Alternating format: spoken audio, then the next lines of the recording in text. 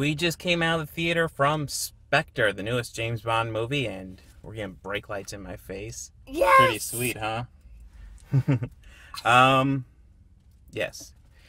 This was a good movie, not on the same level as Casino Royale or even Skyfall, in my opinion. Um, but you know, it was entertaining. Uh, I will. s- Well, what do you think? Why? Um, I thought it was great.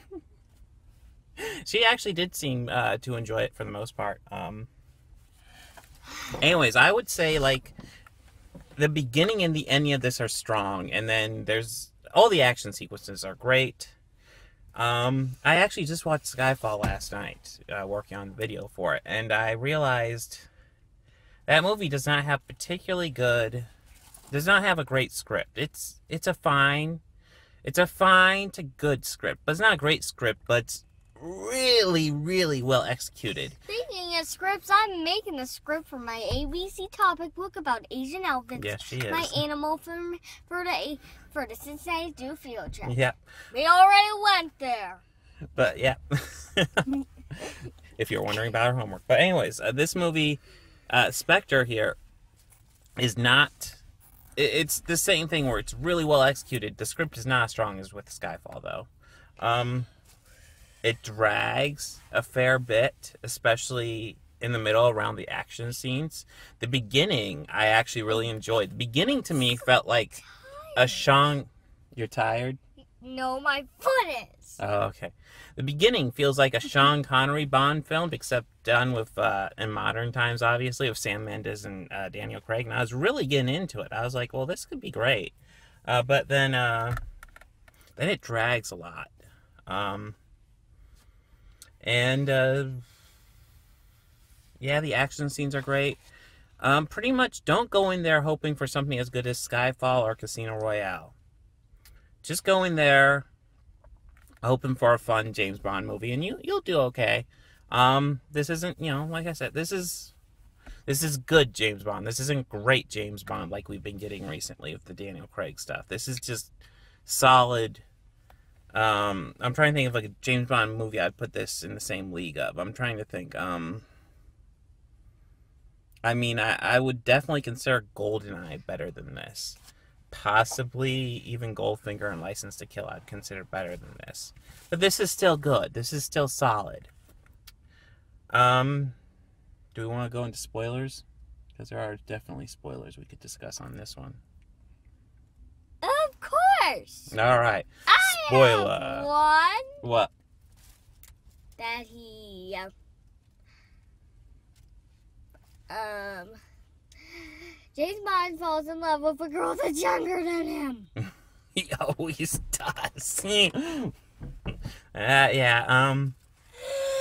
I This didn't was- know he always did that. This. But he definitely did in this movie. Yeah, yeah. She, well, she did. She definitely looked younger than him. It was really noticeable in this one. Usually, it's usually pretty noticeable, but this one, it's like pretty bad. Um, Yeah. still a lot better than Roger Moore than Tanya Roberts in A View to a. Kill. I'll give it that.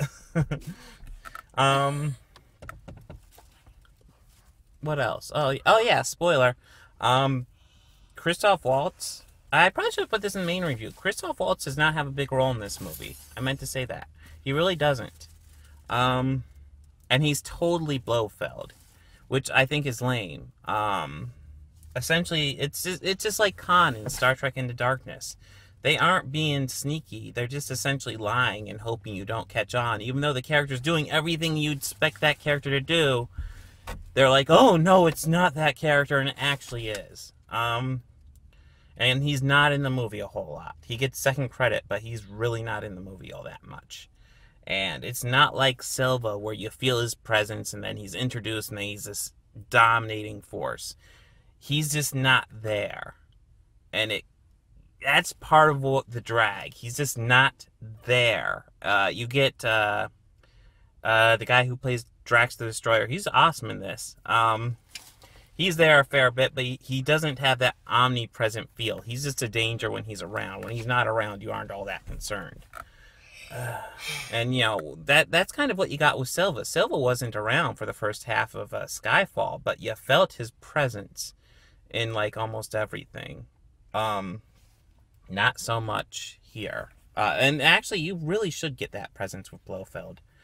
Um, Another thing. yeah. Every time that wa- the bad person sees James Bond, he says, "Cuckoo." yeah, well, you know, he doesn't have a big role, but Christoph Waltz does do a great job in here. We get to see the origin story of Blofeld's scar. Uh, Well, I guess the Donald Pleasence Somebody versions got of in The scar. bad guy got a big scar and a whole white eye. It Mhm. was creeping me out. Yeah, even though there's only one Blofeld that I can think of off the top of my head that actually has that scar, uh, the Donald Pleasence one. But that was the best Blofeld, so sure. uh, what, was there anything else? Oh Oh yeah, the ending. They they don't kill off Blofeld, which I felt was kind of weak. It didn't feel right. I mean, I get the sense I totally they wanted to end this, so they didn't want Bond. They wanted Bond to walk away from his Just to uh, tell you, mission. I'm okay with that scar, but that eye, it's creeping me Well, out. that's what Blofeld's eyes like, and uh, well, at least in You Only Live Twice. Um, it didn't feel natural for the character um, to just let this guy live after all he's done, and they do link him. To tell you, I don't really know how he got that scar, but I don't think I'm gonna want to. The watch bomb. The watch bomb. Yeah, remember that? She threw it at him. Oh yeah. Yeah, that's how he got it. Um. Oh man, something popped in He my said that the only thing it could do was tell time. yeah, he he was asked what it could do, and well, he just said it tells time.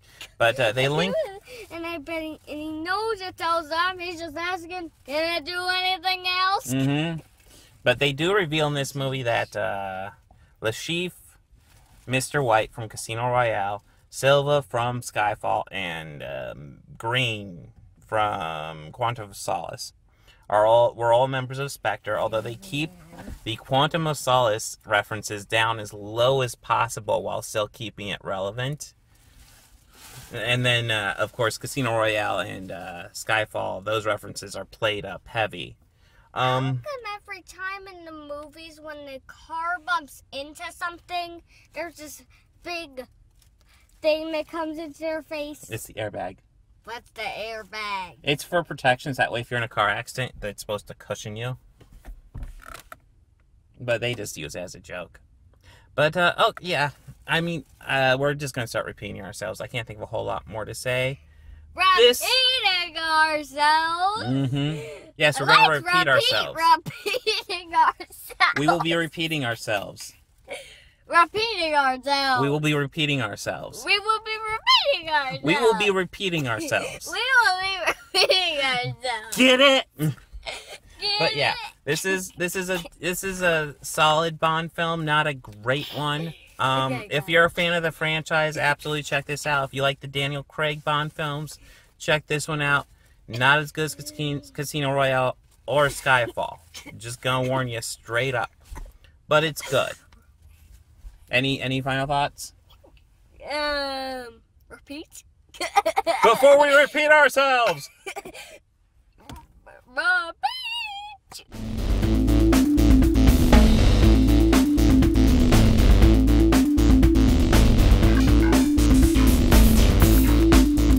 Hey, if you like this video, please make sure to hit that like button and go ahead and subscribe. That helps me out a lot. And if you really love this video, consider visiting my Patreon page.